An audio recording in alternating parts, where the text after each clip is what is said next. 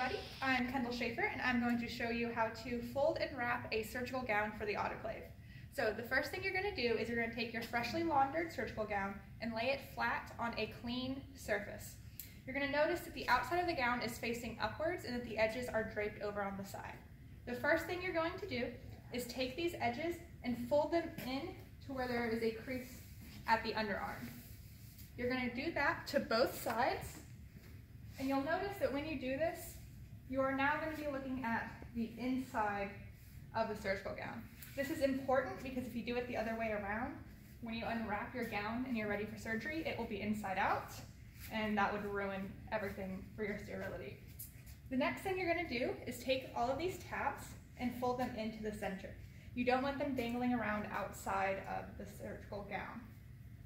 Next, you're going to take your new edge and fold that in to where the neckline is. Now you don't want to make this too large here or else you won't be able to wrap it properly.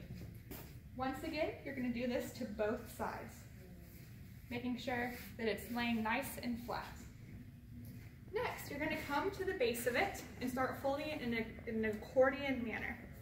You're going to do this so that when you are ready to don your surgical gown, it will just fall out nicely from your packaging and you don't have to worry about touching anything that's supposed to be a sterile surface. Now at the end, you're gonna take the top part and fold the collar down, making sure that these two little tabs remain inserted into the collar. You will set aside the gown and get your surgical huck towel ready. This should also have been freshly laundered. You're gonna take it and fold it in half in the hamburger style. Next, you're gonna fold it like an accordion into approximate thirds.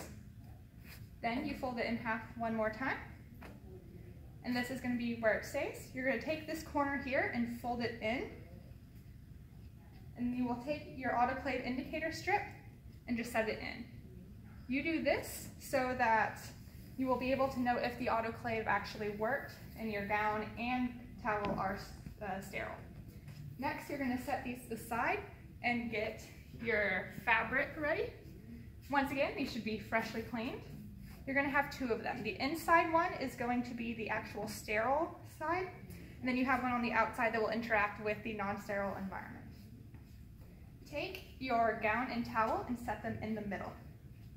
Now, you're going to take the bottom and fold it up, pulling it tight.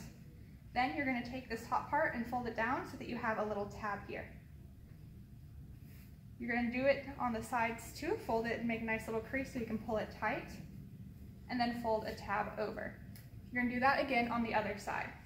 A common mistake would be to not make this tight enough, and if it is not tight enough, it could fall apart if it were to fall or anything like that, and then you would be breaking your aseptic technique.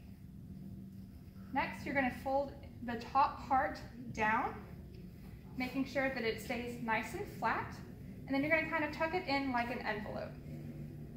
Once again, you're gonna make sure that you have a little tab here, and this will make it so that you are able to open your surgical gown much easier and be able to preserve your aseptic technique when you are donning your surgical gown. Next, you're going to take it, turn it around. The reason you do this is when you are opening it, there's a certain way that you'll learn later, but it has to do with how you get it out in your other hand, and it just makes everything work smoother. Then you're just gonna repeat the same process again making sure to pull it tight and snug here. Okay. Starting at the bottom and then working through to the edges. Another common mistake would be not making it lay flat enough, and you don't want these bulky because that will take up more room in the autoclave and in when you're storing them before surgery. Once again, the last thing you do is pull down this top part, making sure everything is nice and folded flat, and lastly, tucking it in. Now, it's very important to put on tape here. One of the first pieces of tape you'll put on is going to have your name, pack name, date, lab date, and group number on it, and all this information will be in the surgical suite. If you don't label it correctly, you won't know which one is yours, and that would not be good on the day of surgery. The next piece of tape is your autoclave indicator tape. It's the one with the special stripes. If you don't put this on, you won't know if your pack was actually autoclaved. And then lastly, you have one more piece of regular tape that just goes on the bottom. And that is how you fold and package your surgical gown. Thank you.